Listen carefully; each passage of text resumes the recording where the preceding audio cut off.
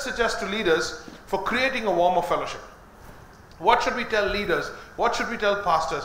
Uh, what should we tell people organizing these these uh, places? Campus pastors, service pastors, um, staff, you know, evangelists. Number one, be approachable and real. This is how you show love and acceptance. Be approachable and real. If you want to train your guys back home, tell them this. Be approachable, be real. Don't be standoffish, don't be non available, don't, be, don't turn your back. Uh, be approachable. Number two, learn names.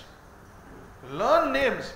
I know that's a challenge, but it just means a lot. And especially those of us who have long, long names, you know, 14 syllables, find, find a way, you know, find a way to learn the names and stuff like that. I'm saying this with, with tremendous burden because I don't do it. I struggle. I really, I, I remember faces. I'm like, hey, brother, remember you? How you doing? Kana was good.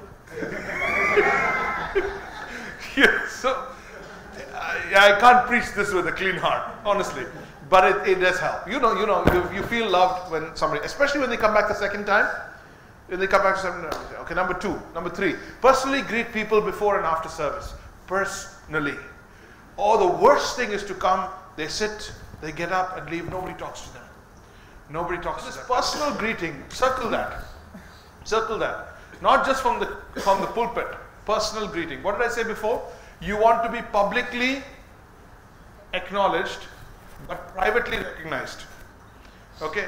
Generally, we want to be told, guests this morning, loved, ah, great to have you with us. We're doing coffee over there, or we'd love to stay back. We've got lunch for you, or for you, lunch is free. That's a lot of love in that one statement, you know. Uh, but personal, personal. So we need to have a certain bunch of people that are trained, equipped, ready to talk to the new people. What did I tell you? This is based on our strategy. If new people are going to come, then this is how things should be. This is how we need to be prepared. Give a look, a word, a touch. Learn those three words. A look, a word, a touch. Please be careful about the touch. But a look, a word, a touch. Number five, write informal letters or WhatsApp. Of course, you got to be careful, and there's got to be ways that you know females uh, messaging females, men messaging men, or the pastor sending a very generalized sort of a broadcast kind of thing. But just send. It was great to have you at church. Wonderful to have you. This is our number. If you need us for anything, we're available. Use humor with people. It always breaks down the barriers. Celebrate diversity among your members.